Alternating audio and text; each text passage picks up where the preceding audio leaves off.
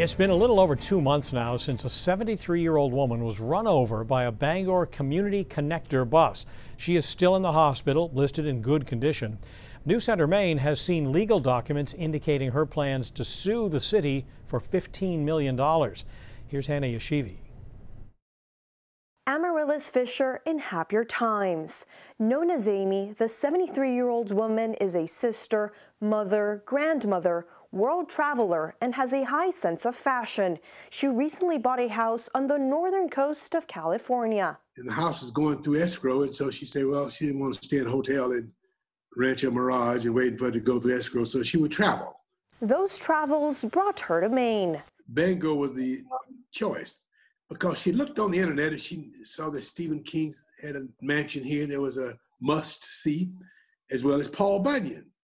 And so it she was kind of invited to Maine. Uh, so Amy hopped on a plane and traveled cross country on a vacation by herself. A vacation cut short by tragedy. Amy was standing right about here when a community connector bus was coming down Hammond Street and taking a right on Main Street. The Bangor police crash report says the driver thought she hit that pole, but she actually hit Amy. From this intersection, Amy was rushed to the hospital. Major surgery on her right leg a broken pelvic, a broken left leg. In fact, at one time she was having surgery every other day. I think this went on about two or three weeks. Her attorney, Charles Gilbert, has filed a legal notice with the city of Bangor, plans to sue for $15 million. In a statement to News Center Maine, Gilbert says, We are hard at work to look for and establish all the possible insurance coverage and exceptions to immunity out there.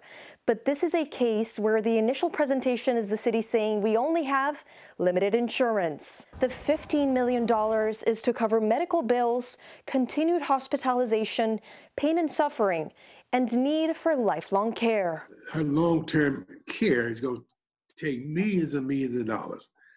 You know, she's going to need somebody there to, uh, like a full time person.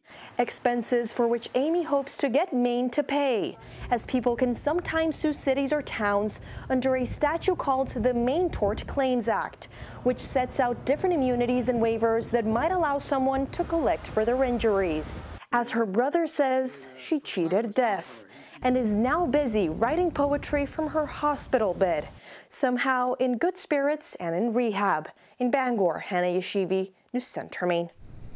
Now, attorney Frederick Costlow, who is representing the city of Bangor, tells News Center Maine he can't comment on the case, and the superintendent of the Community Connector bus service in Bangor also declined to comment on the accident or the potential lawsuit.